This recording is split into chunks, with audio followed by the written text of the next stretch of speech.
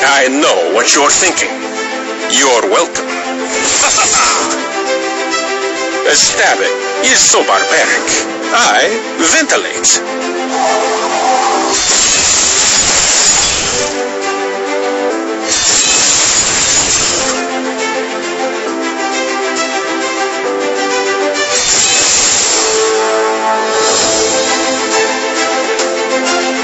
I have killed more people than you have met.